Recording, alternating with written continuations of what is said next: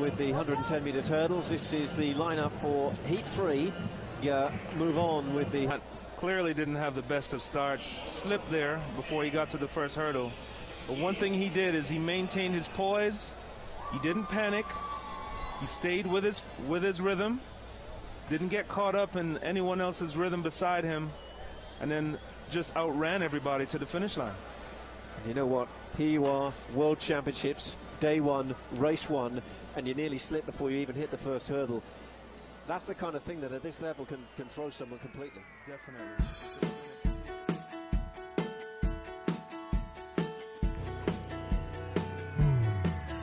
Arasi Akbar Witarsa atau yang akrab dipanggil Aras adalah seorang atlet olahraga atletik lari gawang di kelas nasional hingga kelas go internasional.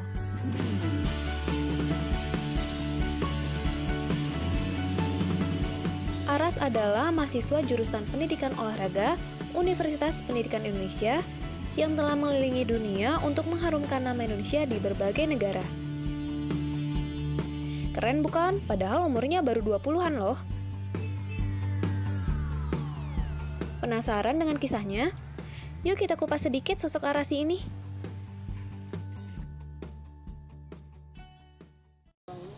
Kalau lari gawang sih dari kelas 3 SMP tahun 2007. Eh, maaf, 2010 ya, 2010 maaf, 2010 ya. Pas mau lulus.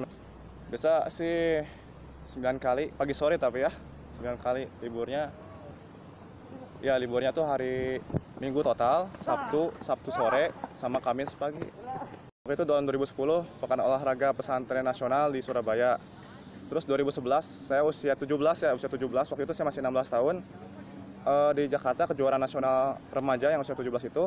Saya kedua pertama kali dan waktu itu kebetulan langsung terpilih ke Platnas ke tim nasional untuk kejuaraan Asia Tenggara waktu itu di Jakarta. Dan waktu itu tahun 2011 juga kejuaraan Asia Tenggaranya posisi kelima waktu itu masih paling muda juga waktu itu. Yang lain 94, saya 95 kan. Kalau masih muda itu biasanya beda setahun itu prestasinya beda jauh biasanya ya karena masih beda-beda ini.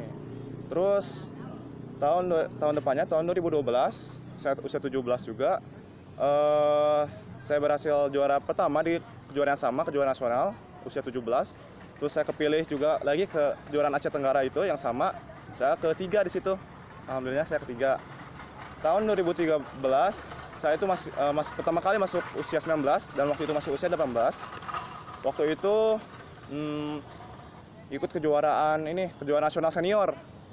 2014 nih puncak saya di usia 19 waktu itu. Uh, kebetulan saya kan masuk masih pelatnas di situ kan pemusatan latihan nasional waktu itu. Tahun 2014 ini awal tahun seperti biasa ada kejuaraan nasional di awal tahun sekaligus seleksi untuk kejuaraan dunia juga.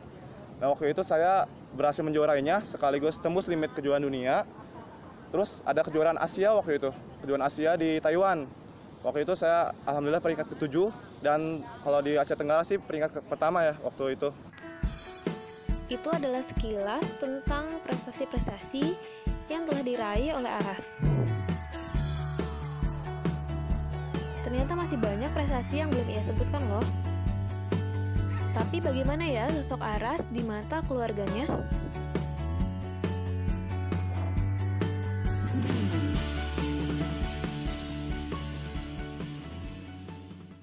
Waktu kecil nakal minta ampun, ya kalau waktu kecil minta ampun sekarang mah uh, 360 derajat lah berubah gitu kan Semoga kita bisa mengambil pelajaran dari Aras ya. Siti Mariam dan kru yang bertugas melaporkan.